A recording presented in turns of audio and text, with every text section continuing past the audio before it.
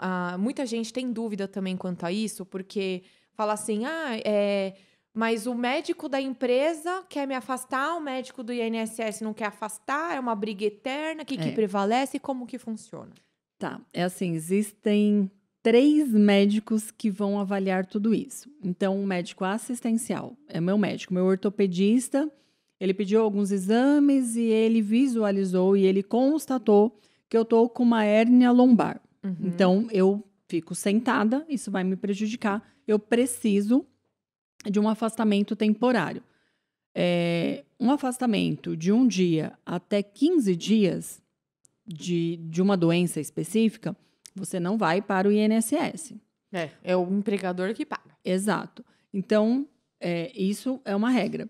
E aí, por exemplo, você- quando que você vai para o INSS? Quando você tem um atestado acima de 15 dias. Então, eu tô com uma hérnia Ou lombar. somando os atestados dá mais que Isso, somando o, o mesmo problema de saúde ou correlacionado, Uhum. dentro de 60 dias. Que tem uma regrinha também, não é? Ah, nossa, eu co- tô com uma hérnia de disco agora, é, depois de nove meses, é, constatei uma hérnia, em vez de estar na lombar, agora está na cervical.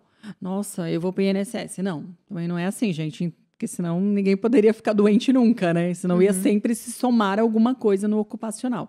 Então, assim, em 60 dias, é, eu adquiri uma hérnia lombar. Daquela hérnia lombar, devido à minha postura incorreta, é, devido à dor, né? A dor local, eu acabei pendendo o corpo para o lado esquerdo e isso me prejudicou. E aí eu causei uma rofite de joelho esquerdo. Ele está correlacionado. Não é uma Nossa, doença é a tábua, é a lombar. podre, que cura uma coisa, caga outra. Então, então, assim, dentro de 60 dias, ele está correlacionado? Ele está correlacionado. Então, ele vai para o Quem INSS. diz que está correlacionado? É o número do CID ou é o médico? É o médico. É um, o CID também, porque o CID é o Código Intersa- Internacional de Doença. Uhum. Então, é, existe uma gama de CIDs, de A a Z. É uma letrinha. Pode ver, né, para os curiosos. É, CID M54.5. Se você jogar no Google M54.5, ele vai te trazer. Problema, por exemplo, lombar. Entendi. E os correlacionados têm a mesma letrinha. Sim, sim. Ah, legal saber disso. Sim. E aí, aproveitando até né, um ensejo para falar dos. A gente sabe que sempre tem os espertinhos, né, de atestados, os atestadistas que a gente chama. Né, Ah, os falsificadores de documento os- aqui passa de monte. os absenteístas extremos. Então, o que, que eles fazem? É, isso é muito normal, tá? Em qualquer instituição. É, eu tenho um atestado lá de enxaqueca. Aí, no mês seguinte, eu pego um atestado de náusea e vômito. Cinco dias, cinco dias, cinco dias. Aí pego um de seis, e aí vai somando. E aí você fala assim, é, mas não é do mesmo CID.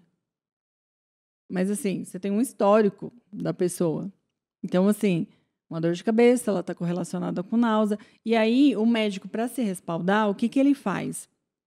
Ele pede exames complementares, né? Vamos fazer uma tomografia, ver se você está com algum problema neurológico, se é algum cisto ou alguma coisa, que essa enxaqueca não passa. Uhum. né? E aí o esperto vai lá no médico, né, atestadista básico, e pega um. Ah, não tô bem. E aí vem lá De com dor de barriga. Não, com CID Z, que é o- o Z é os correlacionados que a gente brinca. Juntou. Amigo, juntou a sua dor de cabeça com a sua náusea com esse Z, porque o Z ele tá correlacionado. Então, assim, o médico ele não é bobo. Né? Nenhum médico é bobo. Uhum. Ele pode se fazer. Então, ah, eu tô sendo esperto. Eu não quero, não quero nem de dor de cabeça, né, de enxaqueca e nem de náusea, porque vai juntar. Ah, então põe aí, sei lá, um Z. Um Z Pra que é qualquer não ir que pro coisa. INSS? E vai. Vai. E por que, que não, não ir pro INSS é uma vantagem? Porque não ir para o INSS, qual que é a questão? O INSS. Você está com atestado de 16 dias, você vai para o INSS por causa de um dia. Uhum. Então, assim, esses 15 primeiros dias, a empresa, a instituição paga para o funcionário, dentro do salário dele normal. Ele vai ter que passar por uma perícia médica. Essa perícia médica, o agendamento, nem sempre é rápida. Então, assim, o que, que acontece? É, do 16º dia, se a perícia médica dele for daqui mais 15 dias, que ele precisa passar com o médico perito.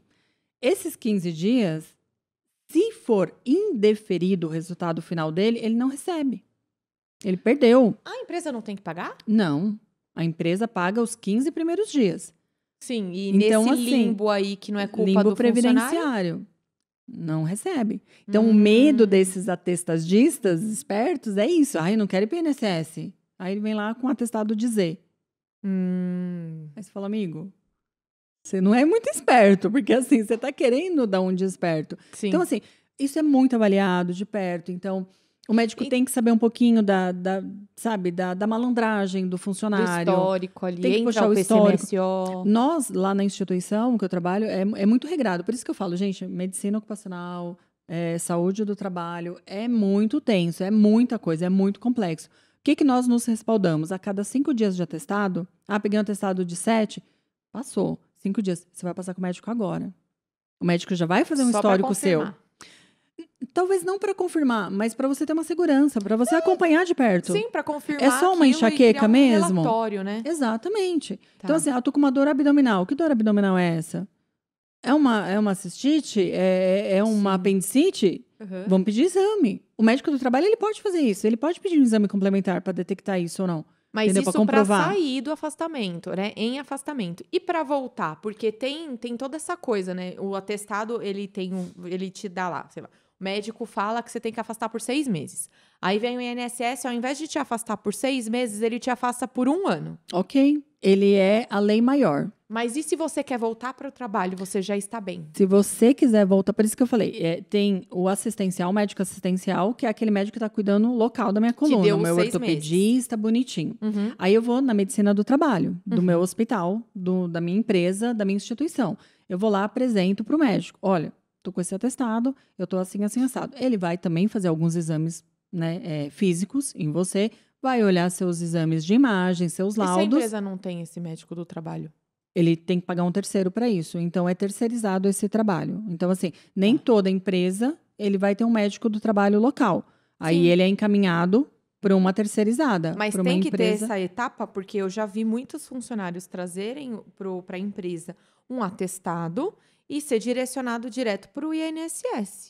Então, ele pode fazer isso. O próprio colaborador pode marcar. Na verdade, a gente até instrui ele a fazer isso, porque porque é tudo agora por aplicativo. Então Uhum. é uma coisa muito pessoal, é dentro do celular dele, ele vai colocar um login dele, uma senha dele, é o CPF dele, é, vai apresentar valores ali do, do que ele vai receber. Então é uma coisa muito pessoal. A gente evita ter esse aproximamento assim de essa aproximação de, de funcionário Uhum. relacionado a valores, né? E, e documentos. A gente tem documentos pessoais deles. Mas não precisa Mas- passar por um médico do trabalho.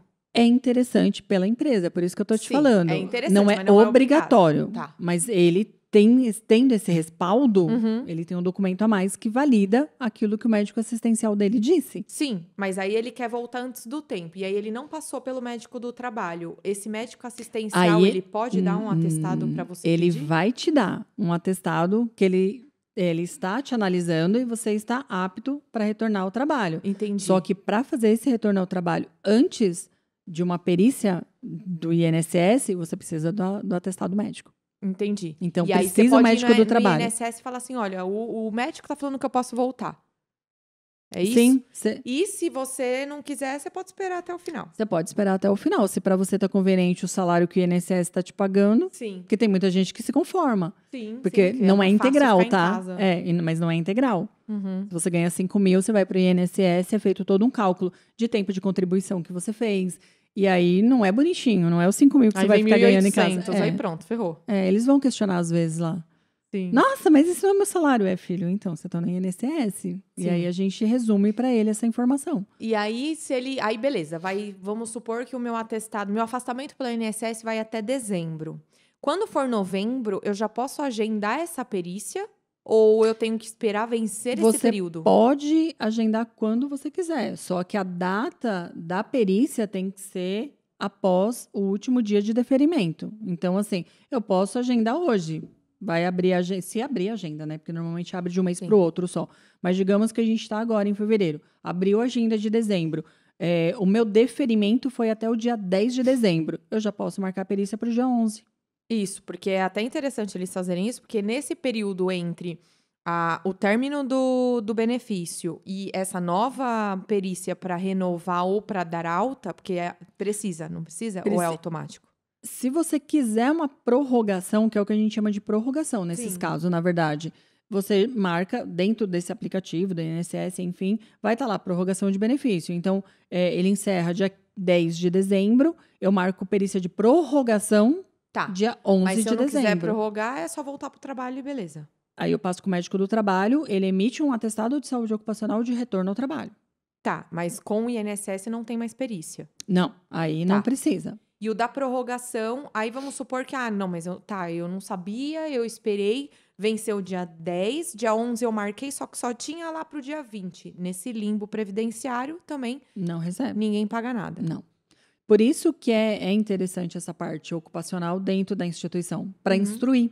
Uhum. Porque um leigo, por exemplo, ele, ele, ele não vai ter Sim. essa noção, ele não vai saber que existe prazo. Que nem no início a gente agendava as perícias para o pessoal e eles falavam assim: Nossa, mas como assim, dia 26?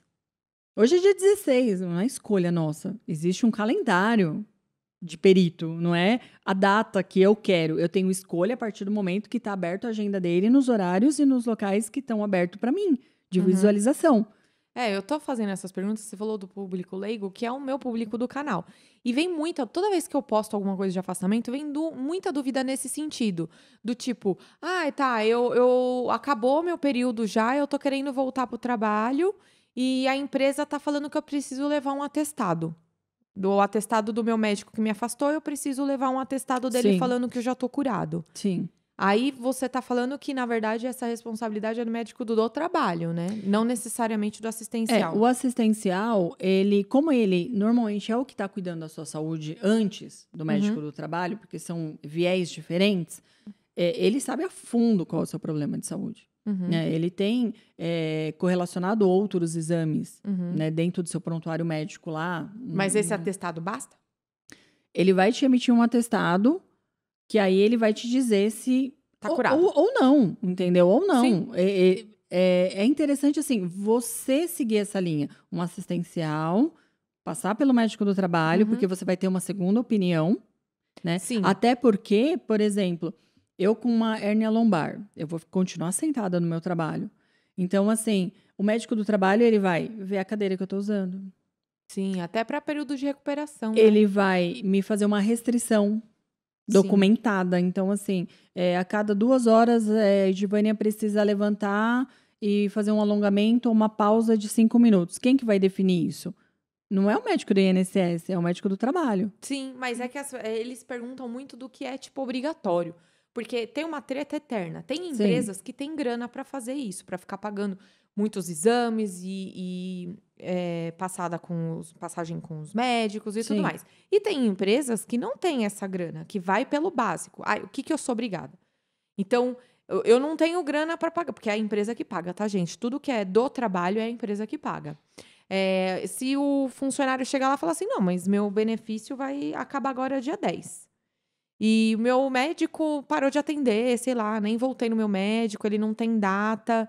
A empresa pode exigir que ele chegue com um atestado de alta ou não? Ela pode Não, receber ele ela normalmente? Ela pode avaliar em consulta, Uhum. né? Que nem um pós-cirúrgico. Você tá com uma cirurgia que você ainda tem a sutura, você ainda tá Uhum. com ponto. Uhum. Você não pode adentrar dentro de uma ala hospitalar. Sim, sim. Então, assim, é, de repente ele vem, ele não tem um, um laudo do assistente, do médico assistente dele.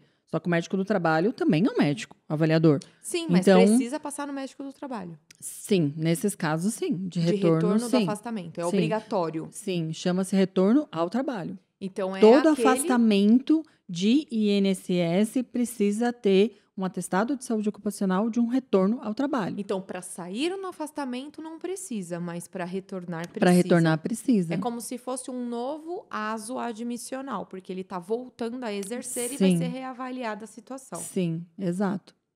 Tô perguntando isso porque é o que todo mundo me Sim. pergunta.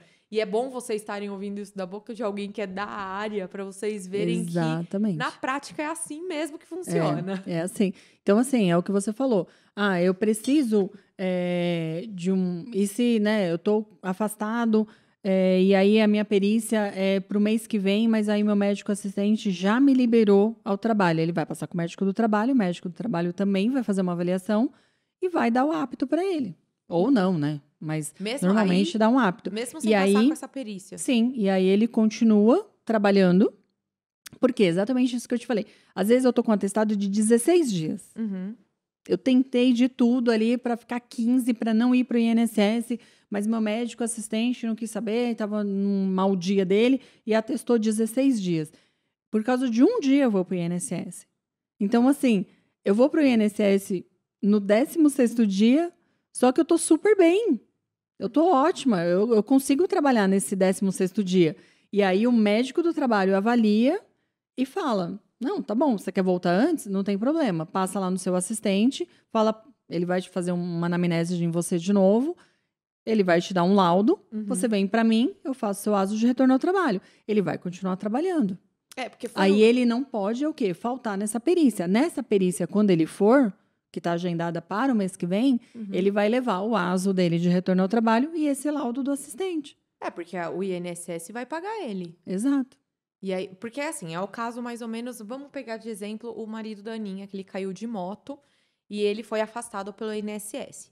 Aí ele foi fazer um exame, só que aí o médico falou, afastou ele por mais um, dois meses. O INSS foi lá e prorrogou por mais seis meses. Certo. E ele tá morrendo de medo de perder o emprego, porque colocaram alguém já no lugar dele para cobrir, enfim. Tá com Uhum. medo de perder e não tem estabilidade pela convenção coletiva. Que estabilidade é uma coisa que vocês precisam ficar atentos. E aí ele falou para ele falou para ele falou que queria voltar a trabalhar. Certo. E aí com, o- como que ele tem que fazer? Então ele tem que marcar com o O médico, médico assistencial. trabalho. Tem que ser o assistencial, não pode ser Precisa direto ser o assistencial primeiro. Porque é o que eu te falei, o assistencial, ele tem toda a sua histórico. saúde dentro do prontuário. Entendi. E aí ele pode sugerir que retorne Isso. Aí ele passa com o médico do trabalho, o médico tra- do trabalho chancela Isso. e ele marca uma perícia com o INSS agora já. Sim. E aí Ele, ele. não precisa esperar os seis meses. Não, não porque precisa. senão ele vai receber pela Previdência. A partir do momento. Não, aí por causa do. Por isso que o social entrou para facilitar a vida de todo mundo. Ele é chatinho, mas ele ajuda. Então, assim, hoje, tudo você tem que mandar pro e-social. O e-social, ele bate com a Previdência. Uhum. Então, assim, se eu retornei hoje, a Previdência sabe que eu retornei hoje. Aí ela já não paga mais o INSS. Entendi. Mas você tem que ir na perícia.